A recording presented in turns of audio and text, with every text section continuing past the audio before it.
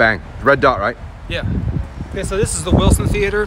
It's another uh, iconic um, Fresno venue that's been used for a lot of different uh, shows. Circle Jerks played here.